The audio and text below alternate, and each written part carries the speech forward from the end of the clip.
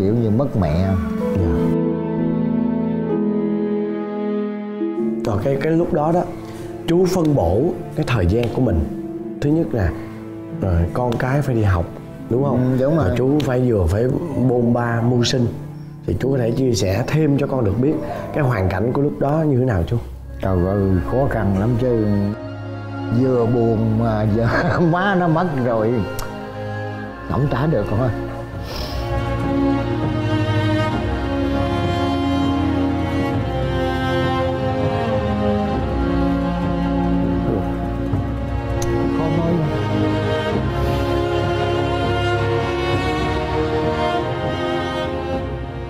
có điều gì mà chú rất muốn làm cho thím mà chưa làm kịp không?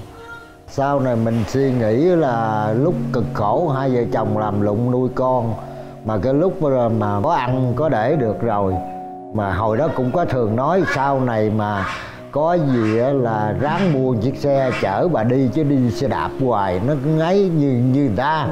Mà mình tiếc một cái là chưa kịp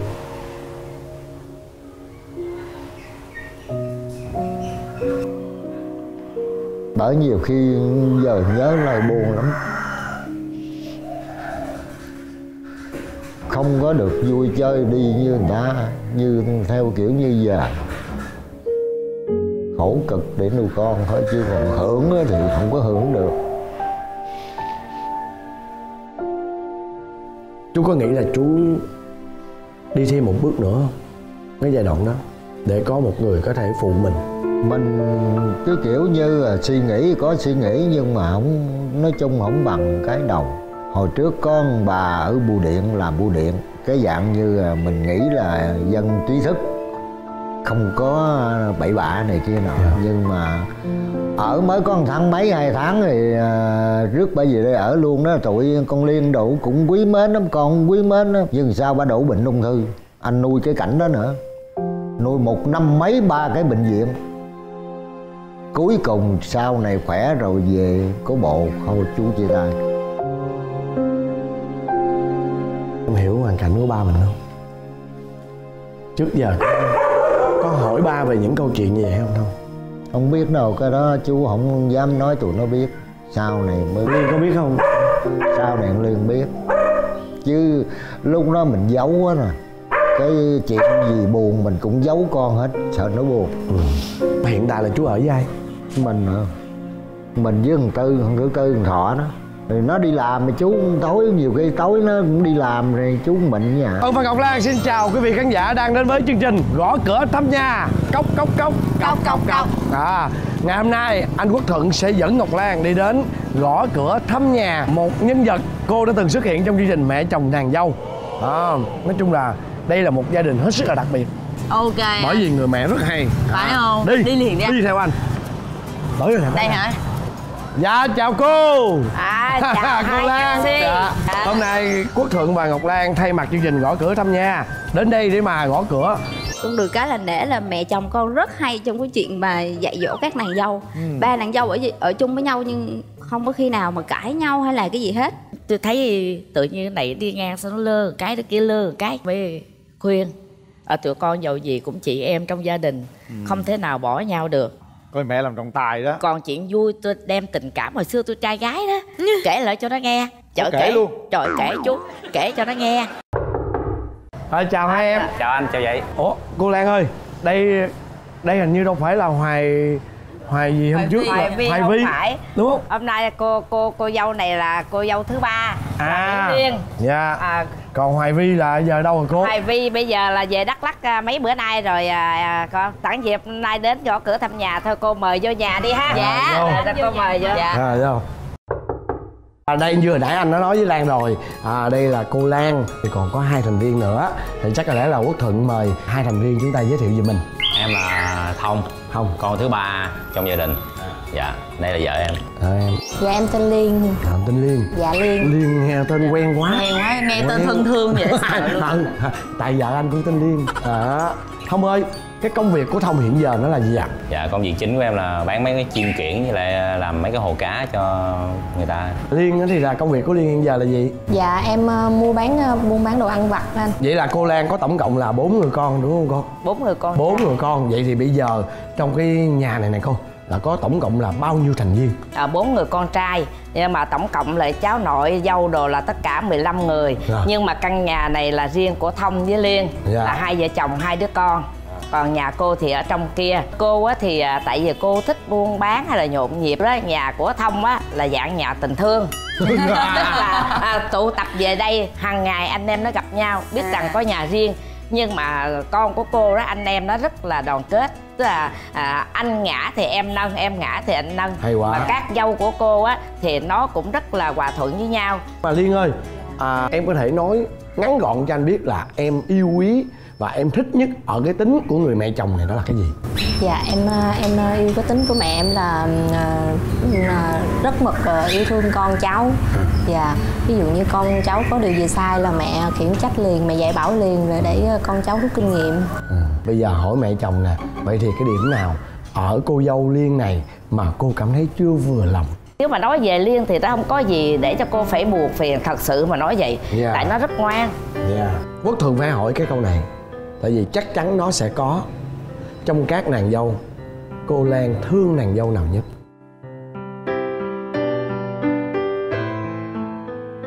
thì um, theo như cô á là cô dành tình thương cho liên nhiều. Liên nó một con mẹ từ nhỏ cho nên là liên nó dành tình thương cho cô là một người, một người mẹ. Còn mấy cô dâu kia mẹ với lại ba mấy cổ còn đầy đủ thì cổ ngoan với cô là đồng ý ngoan lễ phép cũng biết uh, chăm sóc mẹ. Nhưng mà cổ phải dành 50 50 cho gia đình người ta rồi 50 cho cô còn cô này thì hình như dành trọn cho cô, nhưng mà cổ không quên cái bộ phận làm con với anh xui còn lại. Tức là cổ rất là có hiếu với gia đình, biết lo, biết thương gia gia đình mình chứ không phải là bỏ. Nhưng mà nếu mà nói về tình thương mẹ thì cổ thiếu, thì cổ phải đặt hết cho cô. Thành ra cô thương cổ nhiều nhất. Dạ Vậy hơn cô nhưng mà khi mà mình à, có một cái tình cảm đặc biệt dành cho một người nào đó so với lại những thành viên khác trong gia đình vậy thì có bao giờ cô bị khó xử khi mà những cái thành viên trong gia đình mình có gút mắt không cô? À, theo như cô thấy mấy nàng dâu kia đó à, có nghĩ được cái chuyện đó nhưng mà cũng không có nói ra. Mấy cô kia cũng không có so đo gì hết mà mấy cổ nghĩ được có một lần thôi. Cái cái gì á uh, liên nó không có trả lời nhưng mà nó chỉ có cái là nó hơi buồn chút xíu. Uh, nó nó nó có thể là nó nói thôi nó buồn cái nó nó xách giỏ nó đi về anh xui. Là cô buồn vậy cô không bằng lòng. Thông mới rầy thông mới chỉnh lại thì thì rồi xong cái chuyện đó rồi thôi à, không có chuyện. Thôi bây giờ cô kể cái chi tiết cái vụ đó giùm con. giờ lâu quá cô quên mà chuyện nhỏ thôi à. Quên hay là không muốn nói? Không phải quên thiệt. Cô không nhớ thì con sẽ hỏi cô con À, dâu đúng rồi.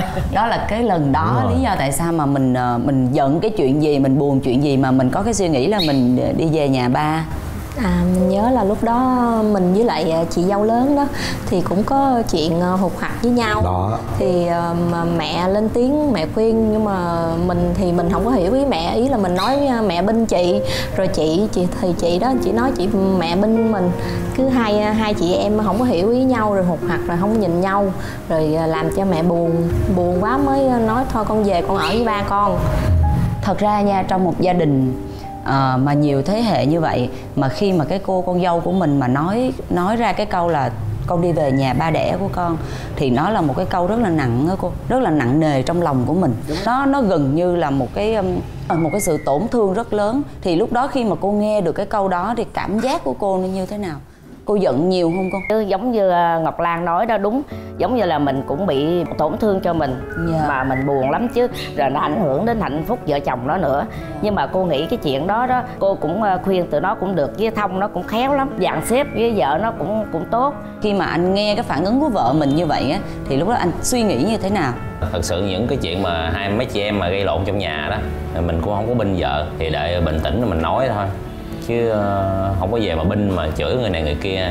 Giờ lúc mà vợ đòi cuốn gói đi về nhà ba mẹ đẻ thì anh làm sao? Đâu có cho về được. Ừ, phải vô, phải lén lén giấu cái vỏ. Dạ, giật giấu cái vỏ lại luôn. giấu luôn. À, Đó. dạ. trên mạng xã hội vẫn hay nói với nhau rằng mẹ thì chỉ có một mình mẹ không thể thay đổi được. Nhưng vợ thì có thể thay đổi được.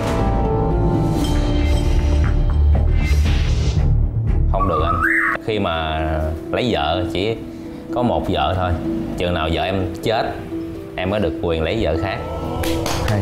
Rất hay. Từ lúc mà em ờ, cuốn gói định cuốn gói về ba đó là cho tới nay là còn có ý định nào cuốn nữa không? Dạ không anh. Hết rồi không chỉ có ờ, suy nghĩ lúc đó thôi. À. à. sau thì nghe lời của anh khuyên rồi nghĩ lại cái lời nói của mình sai đó. Đúng rồi. em cũng xin lỗi mẹ rồi à, À. rồi thôi Vậy không có còn suy nghĩ đó trong đầu nữa. Nhưng mà là nhà nhà ba ruột là ở gần đây hả em dạ gần luôn anh cách khoảng bao xa? Dạ đây vô đó 10 phút. Chắc có lẽ là anh đi.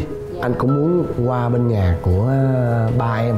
À, không biết là giờ này ba em có nhà không ạ? Dạ có anh. Chắc có lẽ thông đưa anh qua bển. Dạ. nhé rồi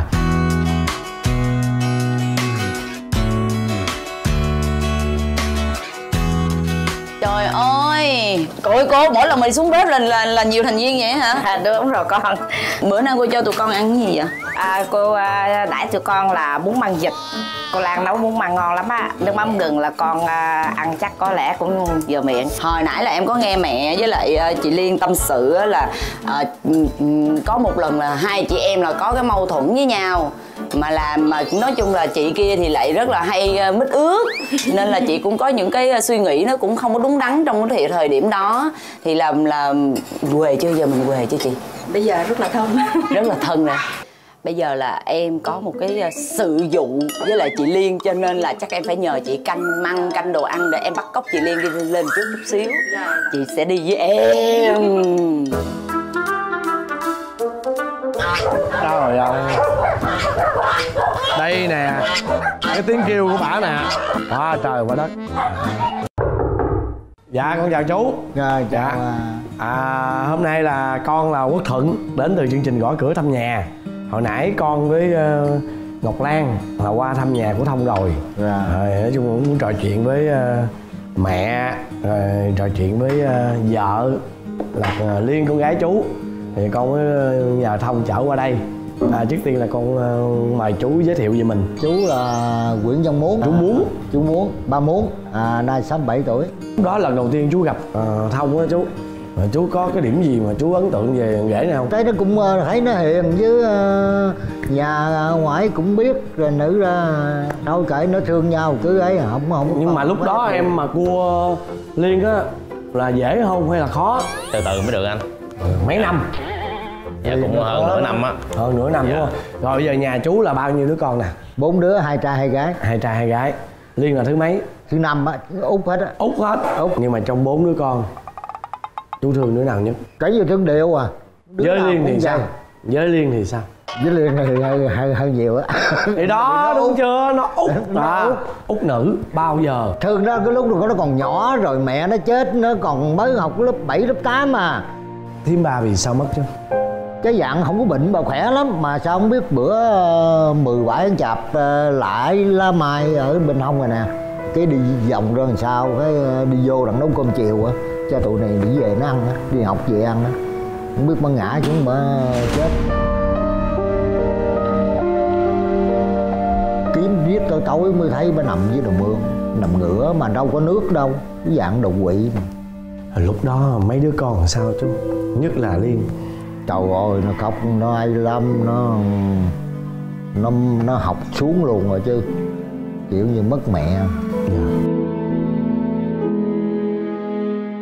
Rồi cái cái lúc đó đó chú phân bổ cái thời gian của mình thứ nhất là rồi con cái phải đi học đúng không? Ừ, đúng rồi. chú phải vừa phải bôn ba mưu sinh thì chú có thể chia sẻ thêm cho con được biết cái hoàn cảnh của lúc đó như thế nào chú?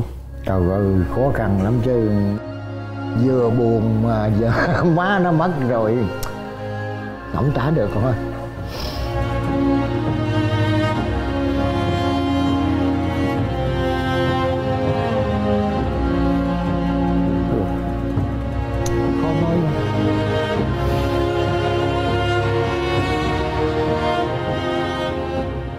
Có điều gì mà chú rất muốn làm cho thím mà chưa làm kịp không?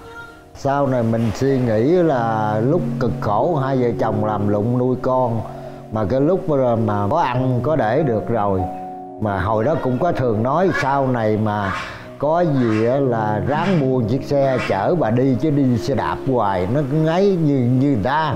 Mà mình tiếc con cái là chưa kịp.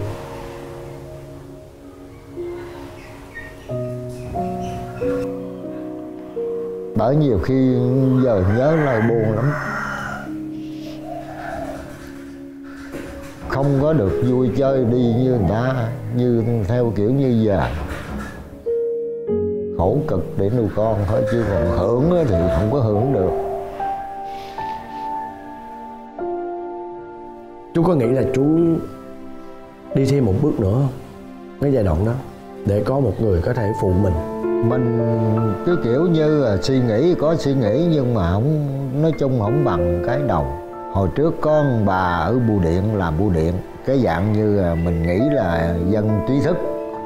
Không có bậy bạ này kia nọ nhưng mà ở mới có một tháng mấy hai tháng thì à, rước bà về đây ở luôn đó. Tụi con liên đủ cũng quý mến lắm con quý mến lắm nhưng sao bà đổ bệnh ung thư? Anh nuôi cái cảnh đó nữa. Nuôi một năm mấy ba cái bệnh viện cuối cùng sau này khỏe rồi về có bộ thôi chú chia tay. Em hiểu hoàn cảnh của ba mình không? Trước giờ có, có hỏi ba về những câu chuyện như vậy không không không biết đâu cái đó chú không dám nói tụi nó biết. Sau này mới liên có biết không? Sau này liên biết. Chứ lúc đó mình giấu quá nè. Cái chuyện gì buồn mình cũng giấu con hết sợ nó buồn. Hiện tại là chú ở với ai mình mình với thằng tư thằng thứ tư thằng thọ đó. Rồi nó đi làm thì chú tối nhiều khi tối nó cũng đi làm rồi chú mình nhà là thọ là có gia đình chưa? Chưa. Nó không hai cha con ở gì đó. Chị biết sao mà em phải bắt cóc chị ra đây không?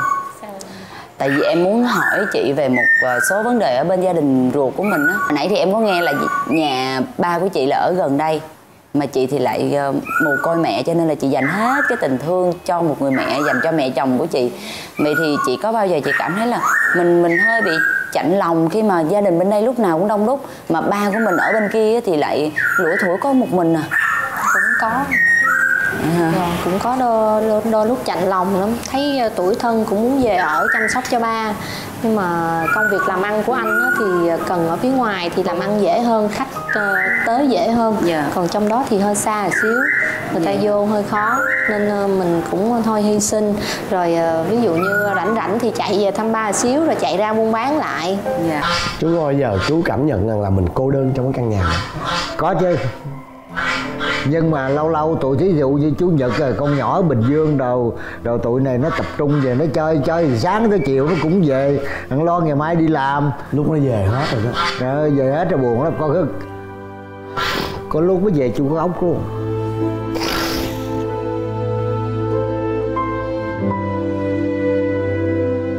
Anh biết luôn nếu như không có chương trình thì chắc chắn là em sẽ không có dịp để ngồi nghe ba trải lòng như vậy. Đúng không không nó thì nãy giờ nghe ba nói gì đó, thì em em cảm nghĩ như thế nào về cái cuộc sống cũng như là về cái hoàn cảnh của ba em hiện tại? Em thấy ba cũng buồn. Cũng nhiều khi cũng cô đơn. Có mình ba thui thủi trong đây à. Vợ con em với gia đình em sẽ về nhiều hơn để cho ba đỡ buồn.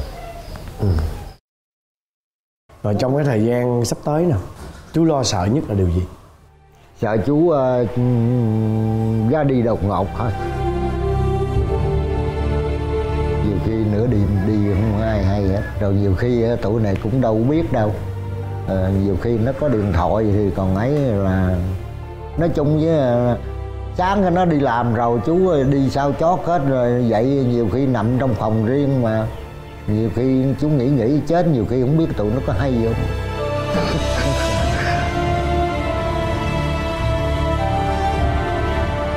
Chị có bao giờ mà ba khóc với chị lần nào chưa? Chị có thấy ba khóc bao giờ chưa? có Tại sao? Thì cái, cái dạo đó ba bệnh nặng lắm ba mổ tim mổ bốn lần rồi mà lần cuối cùng á, thì mình đón ba về nhà thì à, hai ba ngày sau mới về thăm ba ba mới nói là thấy tụi con yên ổn vậy ba mừng à, nếu mà ba có gì ba cũng yên tâm Chị có bao giờ chị thấy là mình hơi vô tâm với ba không? Tại vì à, nói gì thì nói ba gà trống nuôi con mà, mà phải nuôi bốn người con như vậy, thì có bao giờ chị làm cho ba buồn không? cũng có nhiều khi ờ, buồn nhưng mà ba không có nói. Dạo trước thì ít về thăm ba lắm, thì công công việc ở đây á, thì mình cũng ờ, ít về. Thì ba nói ờ, con này lâu rồi không chịu về thăm ba, lỡ ba mày trong đây có gì rồi con không biết thì sau này mình mình biết rồi mình biết nghĩ tới thì cứ ờ, cách ngày hai ba ngày thì chở cháu về về chơi xíu rồi lại quay ra. Lúc chị còn nhỏ là chị đã từng trải qua những cái khó khăn nào cùng với gia đình của mình? Cũng có. Lúc mẹ mất thì lúc đó gia đình khổ lắm. Rồi à, ba của buôn bán à, mấy thứ trong trong nhà làm ra ví dụ hái dừa đó thì ba cực lắm.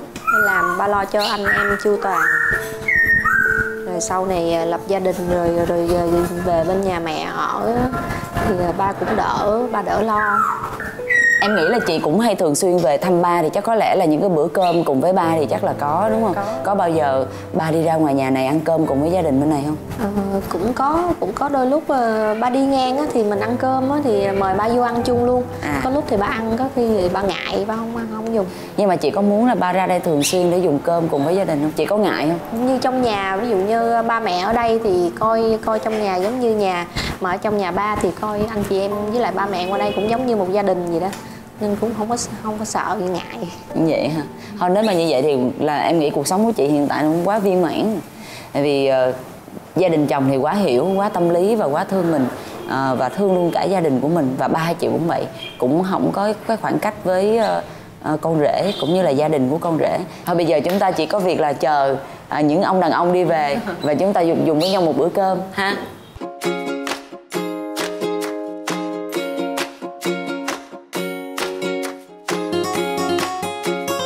Hôm nay con rất là vinh dự được à, cùng với Ngọc Lan đến đây sau khi thăm hỏi gia đình à, chuyện gia đình của hai bên.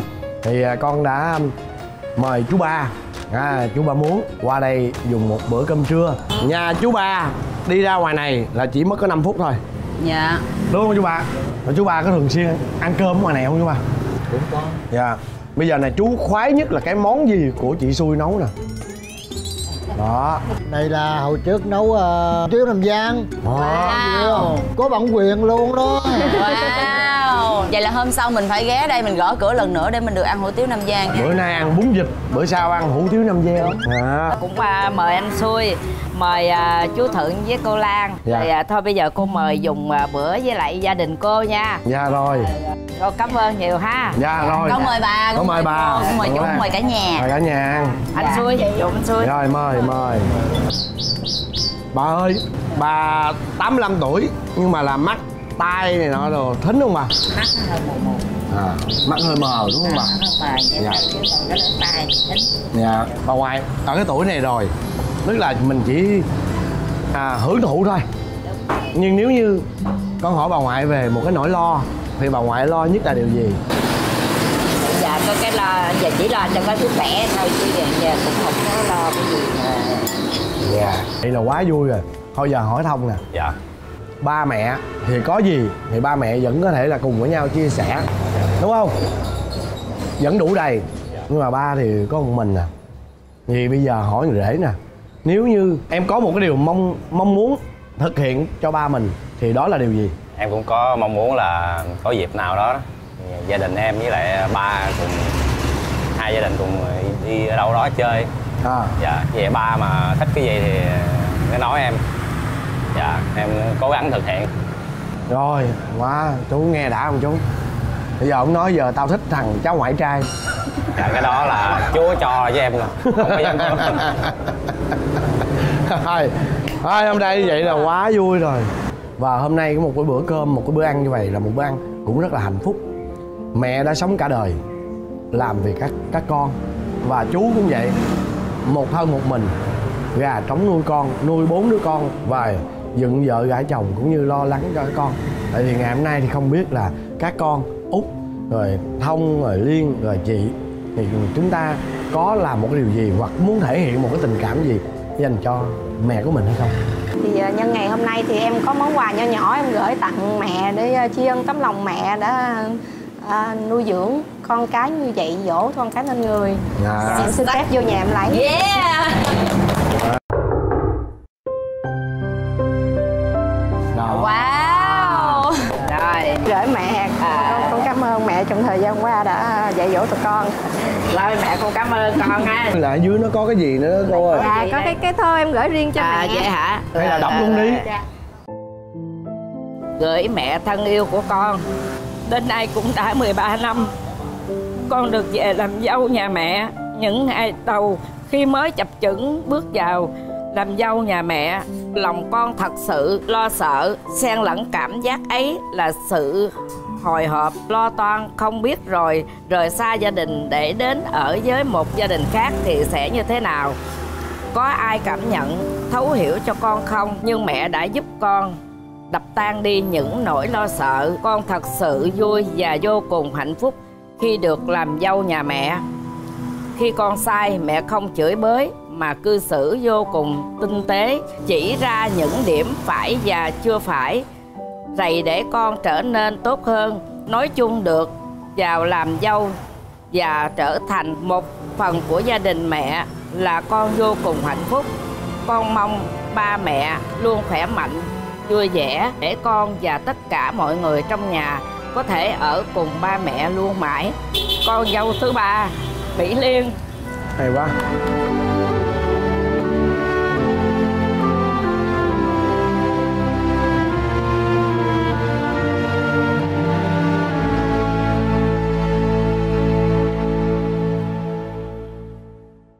Không phải chỉ có một mình cô xúc động, mà chắc có lẽ một người nữa xúc động và hạnh phúc nữa, đó chính là chú ba ở đây. Thôi thì, đã nói những lời với mẹ mình, thì hôm nay thì em có gì muốn chia sẻ và muốn nói với ba không? Con cũng cảm ơn ba đã sinh con nuôi dưỡng con thành người. Không được tốt như ngày hôm nay. Thực sự, con hứa con sẽ không làm những điều cho ba buồn.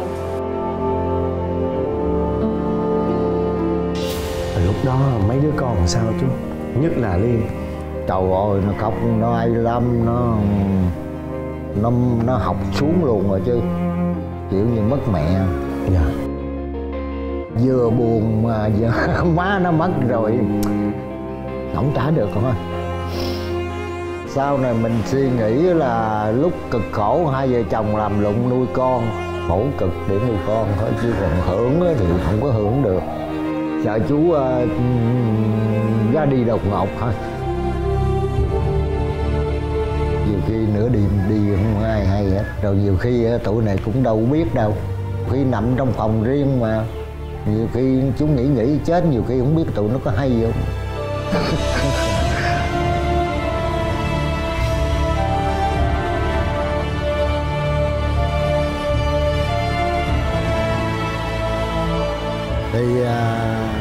nói chung là mẹ của liên mất thì à, nói theo dân gian gà trống nuôi con rồi sao rồi à, nay nhân dịp này thì cũng xin à, có bác đây và cũng xin à, với à, nói ra là cũng cảm ơn anh xui chị xui. Thì làm dâu với anh xui chị xui thì anh xui chị vui cũng có hướng dẫn và dạy dỗ cháu nó được lên người và nó được à, hạnh phúc như đến ngày hôm nay.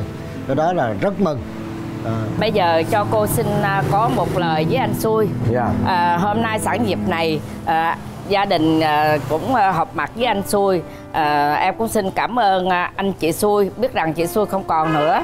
Nhưng mà em cũng cảm ơn chị xui đã cho em được một đứa con gái thật sự rất là ngoan dễ thương. Em thật cảm ơn anh.